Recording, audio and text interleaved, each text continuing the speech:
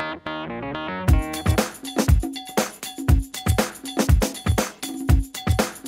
guys, today's lesson is going to be on our mini starfish.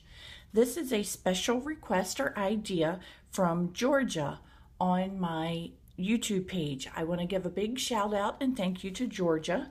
She decided that it would be a great idea to turn the forks of the rake into this mini starfish. It's still going to be a loomless tutorial, so please follow along. Once again, thanks Georgia. I appreciate it. If you'll take a moment and set up your workspace to look similar to what I have right here. We are going to be needing 15 bands total. And if you'd like to set them up in rows of three, three, three, three, three, three, and this is going to be our securing band for the end. So take a moment and set up your workspace. You can choose whichever colors you wish. Here I have got a um, peach color. Today I'm actually going to be using pink to go along with some of the other items in my beach, beach series. Also, you will find a larger starfish. This is going to be the medium starfish. You'll find that on my channel. This is a loomless item also. And then the bigger starfish. That's going to be the large. So we've got mini, medium, and large. So I hope you guys will follow along with some of those other lessons, but let's get started with the mini starfish right now. You want to take just your hook because it is loomless a single rubber band that you have over here in your pile, and you're going to wrap it around your hook four times. I do this by counting one as I place my hook through, twist and two, twist and three, twist and four. And this is going to have what looks like four bands showing up on your hook. Our next step is to take a single band, twist it around our fingers, and we're going to pull that four band over and then we need to reclaim. And this is going to be the technique that we use for the whole entire starfish. Grab another third band, twist it on your finger, pull it through, and reclaim. Now that we have three on our hook, we're going to let those stay on our hook and we're just going to push them back slightly further. Then we're going to build the remaining four on our hook up here. So we want to keep that right there.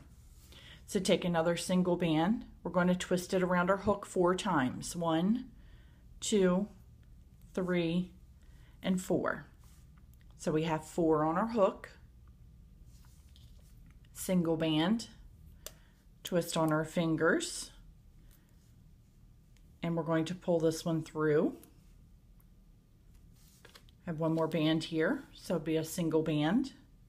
Twist on my fingers and pull through. And now we're going to slide that one over onto our hook. Single band, we need to cap this one with a four time. One, two, three, and four. So it looks like we have four loops on our hook, single band, double twisted, and we're going to pull this through, single band, double twisted, and pull that through and reclaim. And we're going to slide that on our hook back further. That's going to be my securing band, so I just need to set it aside for a moment.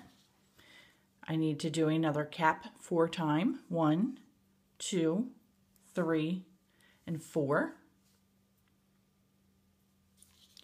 A single band. Going to double twist on our fingers and pull through.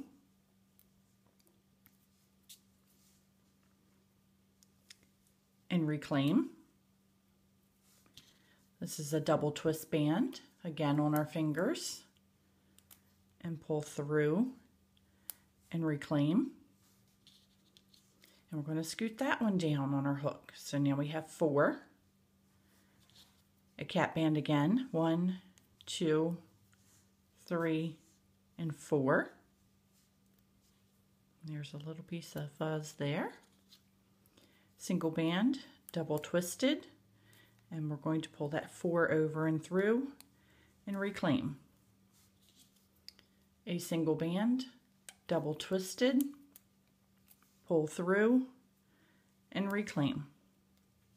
So now we have got five little pieces, one, two, three, four, and five. We have five little pieces on our hook. Our next step is to take that single rubber band and we're going to transfer all five of these over here onto that single rubber band. So no twisting, but we want to stretch it out and just transfer those five onto that rubber band.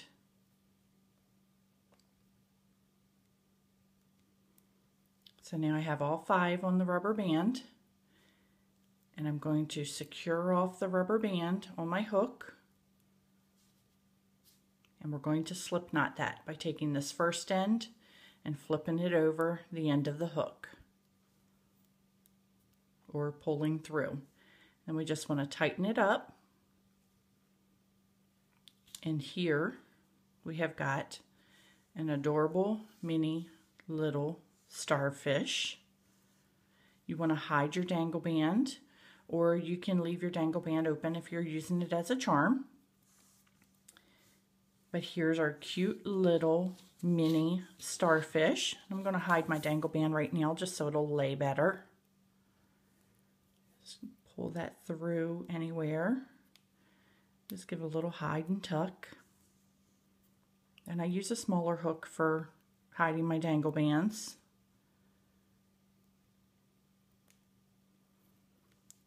But here you go with just a little bit of fiddling and playing. We've got an adorable mini little starfish. And I'm just going to zoom in a little closer on that one for you guys. So here we've got our little teeny starfish. And I hope you guys enjoy your Loomless mini starfish. And you'll stay tuned for the medium size and also the larger starfish. Thank you guys so much.